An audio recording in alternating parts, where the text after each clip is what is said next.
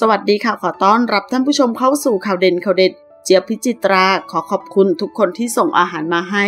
เพื่อร่วมกับรถกับข้าวบอยเจี๊ยบ เรื่องราวการช่วยเหลือสังคมของคู่รักอย่าง เจี๊ยบพิจิตรากับบอยพิทเมเกอร์ กับโครงการรถกับข้าว รถกับข้าวพุ่มพวงที่นำอาหาร พืชผักต่างๆ เข้าไปมอบให้กับคนที่อาศัย อยู่ตามชุมชนต่างๆ ซึ่งล่าสุดเจี๊ยบได้โพสต์รูปลงไอจีพร้อมกับมีข้อความว่า รถกับข้าวของเรามาถึงที่ชุมชนที่ 99 แล้ว ขอลงรูปตัวเองหน่อยนะคะ ถึงแม้ว่าพี่น้องในชุมชนจะยิ้มแย้มหัวเราะเสียงดังบ้าง ในบางช่วง ให้เราได้ชื่นใจในวันนี้ แต่เรารู้ว่าทุกคนอยู่ในภาวะเครียดไม่ต่างกัน และเราขอขอบพระคุณ ผู้ให้หลาย ๆ คนที่ส่งของแห้งมาฝากไว้ที่ร้าน